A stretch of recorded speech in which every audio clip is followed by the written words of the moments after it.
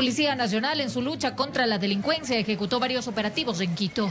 Y vaya que encontró a los supuestos pillos en allanamientos realizados, por ejemplo, en Eloy Alfaro, la lucha de los pobres y Guamaní. El grupo delictivo se dedicaba a observar los carros que dejaban estacionados en la vía pública.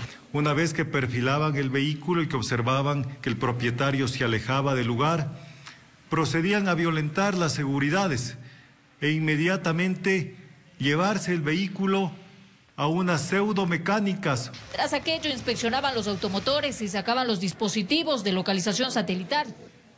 Realizaban la adulteración del sistema alfanumérico con el fin de luego comercializar estos vehículos en el mercado, obviamente con un precio menor al habitual.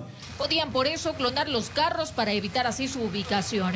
Los detenidos, ocho ciudadanos, la mayoría con antecedentes penales y las evidencias del ilícito.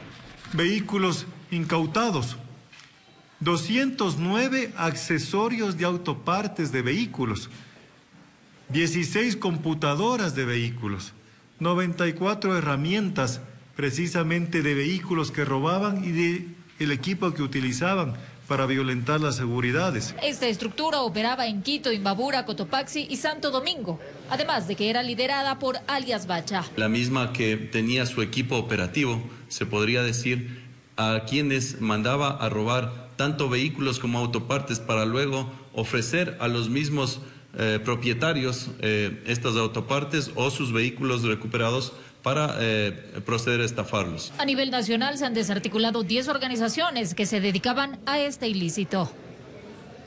Informó Marilyn Jaramillo.